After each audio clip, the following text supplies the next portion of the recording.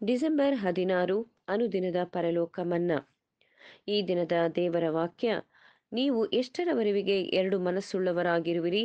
ಯಹೋವನು ದೇವರಾಗಿದ್ದರೆ ಆತನನ್ನೇ ಹಿಂಬಾಲಿಸಿರಿ. ಬಾಳನು ದೇವರಾಗಿದ್ದರೆ ಅವನನ್ನೇ ಹಿಂಬಾಲಿಸಿರಿ ಒಂದು ಅರಸುಗಳು ಹದಿನೆಂಟು ಇಪ್ಪತ್ತೊಂದು.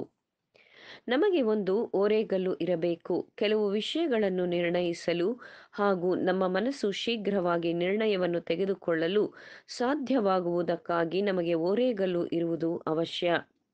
ಈ ಓರೆಗಲ್ಲು ದೇವರ ಚಿತ್ತವಾಗಿರಬೇಕು. ನಾವು ಯಾವುದಾದರೂ ಸಮಸ್ಯೆಯಲ್ಲಿ ಸಿಕ್ಕಿಕೊಂಡಿರುವಾಗ ದೇವರ ಚಿತ್ತವನ್ನು ಗ್ರಹಿಸಿ, ಆ ಸಮಸ್ಯೆಗೆ ಉತ್ತರವನ್ನು ಕಂಡುಕೊಂಡು ಅದನ್ನು ನಿವಾರಿಸಿಕೊಳ್ಳಬಹುದು. ಶೀಘ್ರವಾಗಿ ನಿರ್ಣಯಿಸಲು ಹಾಗೂ ಸರಿಯಾದ ಮಾರ್ಗದಲ್ಲಿ ನಡೆಯಲು ಸಾಮರ್ಥ್ಯ ಬೇಕು.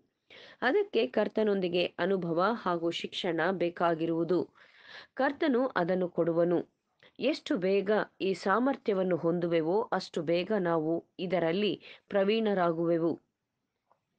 ನಾವು ಹೆಚ್ಚು ಹೆಚ್ಚಾಗಿ ಬಲವುಳ್ಳವರಾಗಿ ಕರ್ತನ ಚಿತ್ತವನ್ನು ಗ್ರಹಿಸಿ ಆ ಚಿತ್ತವನ್ನು ನೆರವೇರಿಸುತ್ತೇವೆ.